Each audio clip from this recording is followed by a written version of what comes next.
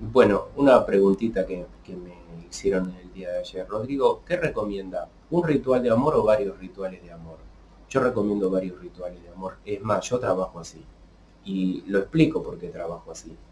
El que hace un ritual de amor a mí me parece bien igual. ¿eh? Yo hace muchos años trabajaba un solo ritual de amor. Después me di cuenta que recuperar el amor de una persona, la confianza, la vibración correcta y cambiar uno mismo requiere un proceso de tiempo. Y en ese proceso de tiempo, para mí lo ideal es todas las semanas hacer un ritual de amor de magia blanca. De la misma manera, si uno quiere limpiarse, por ejemplo, emocionalmente, entonces hace un trabajo utilizando la ley de atracción, la magia, la metafísica, lo que sea, ¿no? Para limpiarse emocionalmente, lo hace una vez, uno se va a sentir mejor, te va a hacer bien. Pero al otro día o a las dos horas vas a volver a los patrones de conducta anteriores, vas a volver a las cosas tóxicas, por, ejemplo, ¿no?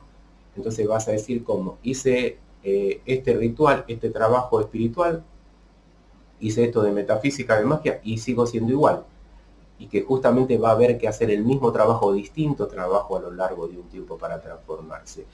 Entonces, para mí, se requieren varios rituales siempre en el camino de la magia blanca, sin violencia sobre la otra persona, sin violencia sobre uno mismo, sin la presencia de, entidades oscuras que se utilizan para, para salar, para enfermar. No digo las entidades oscuras porque el que sigue mi canal está claro a qué tipo de entidades me refiero o a qué cultos me refiero, pero después cada uno es libre de hacer lo que quiere.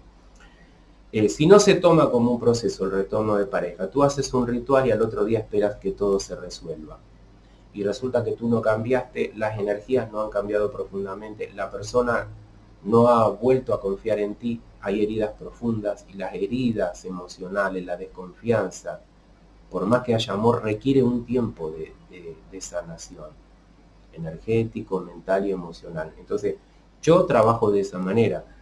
Ahora, el que dice, mire, hago un ritual de amor, me cruzo los brazos y, espero que mi ex vuelva y que todo sea fantástico, maravilloso, está en una visión infantil de la magia. Yo no digo que esté mal, digo que cómo todo va a cambiar simplemente porque tú pagues un brujo, te cruces de brazos y no hagas nada por estar en una mejor, mejor versión de ti mismo o de ti misma. Eh, o sea, tiene que haber un trabajo sobre uno tiene que uno transmitirle la señal de que has cambiado, de que vibras mejor, de que puede confiar.